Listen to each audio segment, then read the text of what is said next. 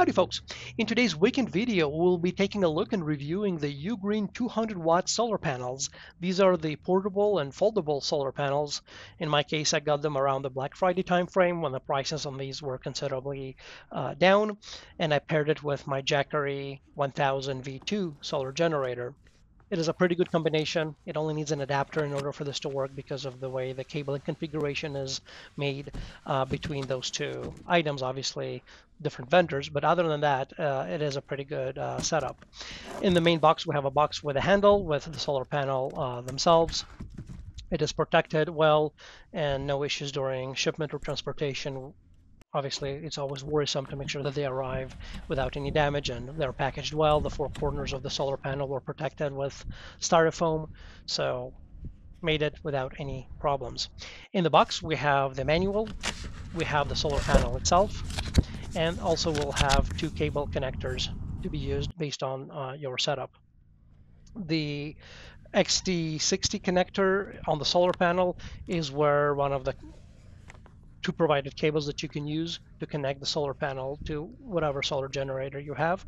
As I said, in my case, we'll also be using an adapter. The handle is very nice on the solar panel, so very comfortable to carry it. And we also have two magnets in the corners to help the panel stay foldable. They're not super uh, heavy duty magnets, but they're good enough in the box, like I mentioned earlier, we do have two cables. One of them is going to be XT60 to XT60. This is going to be female on both ends. One of the ends plugs into the solar panel, the other end into your generator or into an adapter. And then the other cable is going to be an XT60 to the MC4 connector. Red is the positive, black is the negative. I know there are a couple of other variations floating around there, so if you do get this package, uh, make sure you verify that the polarity is correct in your case because I think there were different types of polarity uh, MC4 connectors sent. And here we have the solar panel partially uh, opened, uh, and we see that we have, again, good protection uh, within the packaging to make sure that the solar panels are not damaged. Essentially, you have four foldable sections in order to complete this 200 watt setup. And in the back, we have three legs in order for the solar panel to be angled at its optimal angle to the sun. Essentially, you have two legs on each end and then one kind of in the middle, or at least middle left to the solar panel. And in my case, as I said earlier, I'll have to use an adapter in order to use it with the Jackery uh, 1000 V2 power solar generator.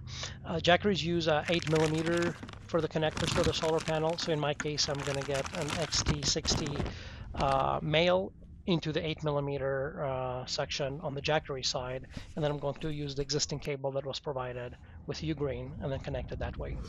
On the solar panels, we do have the mark in order to show us the best angle to mount it at. So there is a circle in the center that casts shadow, and this way it helps us to make sure the angle is optimal in order to get the best wattage during uh, the time when we're trying to charge up the solar generator.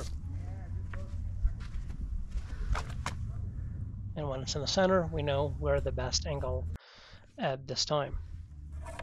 In my case, I'm connecting it to the adapter, and then the adapter goes into the Jackery unit, and it should automatically power on once it senses there is input. In my case, uh, I'm getting 166, 67 looks like watts out of this 200 watt rated solar panel.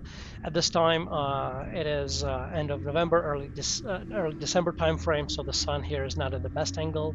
Hopefully, when we get to the summertime time frame, we'll get some better results uh, and then get even higher wattage but even at uh, during the winter time, getting 167 watts, I think that is fairly reasonable at this time. Uh, in my case, I have 11% uh, on the battery left, so that means at its current rate, it will take uh, you know almost seven hours to get this charged. Now, in reality, we don't have seven hours of sunlight in the day here uh, in order to get it charged, so it's going to take more than one day in my case. Uh, trying to adjust the solar panel, I tried different angles, etc., to get it uh, maybe in a better, more optimal section. But um, looks like 160 to 165 is the best what I was able to get in kind of late afternoon aspect. In this next test, what I would like to do is cover one of the solar panels, so one of the four solar panels that we have that is making this 200 watt rating, and I'd like to see how does that affect the charging. I'm expecting to obviously have some drop, but hoping that the other three solar panels will be able to overcome that, and looks like we're getting 123 watts instead of that 160-ish. So again, in the current setup, uh, even though they're rated 50 watts each. Looks like we're getting about 40 watts out of each solar panel under the current conditions. And then I'll go ahead and cover another section here.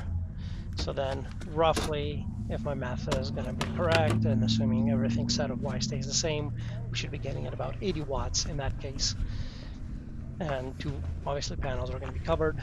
And in our case, in this scenario, we're getting 81 watts. So again, based on those results, it is reasonable. And the next test here is going to be partially covering one of the solar panels, meaning that are we still going to have the same drop as if this whole solar panel is covered or not? And in this case, when uh, only 50% of one solar panel is covered, it is essentially as if the whole section is covered, so it doesn't matter. Uh, looks like the three other solar panels in the setup is what's generating the power. But whether in the four solar panel, whether half of it is covered or it is fully covered, looks like we're essentially not getting a lot of difference. It is almost uh, the same.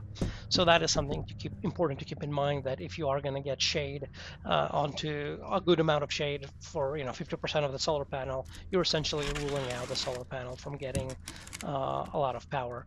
And in this test, you can see that uh, you know I'm, I'm covering even even a smaller section, but essentially the same thing. When a good part or even a partial part of the solar panel across the board is covered, that section is not generating much power. Removing it out of the shade, we're back to 164 watts of power on the input side. From the build quality perspective, uh, the solar panels are made from monocrystalline silicon cells, and then the coating on this is going to be ETFE from uh, the Ugreen website. That, in theory, should be a good coating that should last for years to come longevity times. We'll see how that goes. Uh, obviously, from the build quality itself, they look to be okay and fair. Again, they're meant to be uh, portable, so foldable. Obviously, that's why they're thin. I'm not going to say they're flimsy. They're not flimsy, but obviously, you don't have a lot of durability from the aspect of being rigid. Again, expected since it is a foldable and a portable solar panel. So this is something that we'll see how they handle weather-wise, weather-wise over the years. Uh, from the IP rating perspective, on their website, uh, Ugreen states that they're IP67 rated, so in theory should have some waterproofing capabilities with this. In the manual, it did not state that, so we shall see.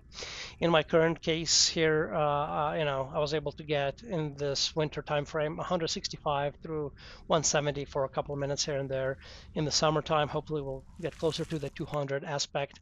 But uh, from my testing, I was able to, you know, input the voltage into my Jackery unit and also start charging my e-bike battery at the same time. And they were able to continue working with the Jackery unit without an issue. These specific solar panels are rated for 24 volts for the open circuit voltage. So uh, if you'll be getting any solar panels, where whether it's these or not, you need to make sure that uh, the voltage is going to be acceptable within the limits of the power station or whatever input inverter you're going to be using at. Uh, so again, these solar panels are 24 volts. There are some 12 volt solar panels, batteries out there. So it's important to ensure that the right solar panel voltage is and can be handled by the unit that is being charged. Anyway, thanks everybody for watching. I hope you have found this video helpful and beneficial. Have a great day. Bye-bye.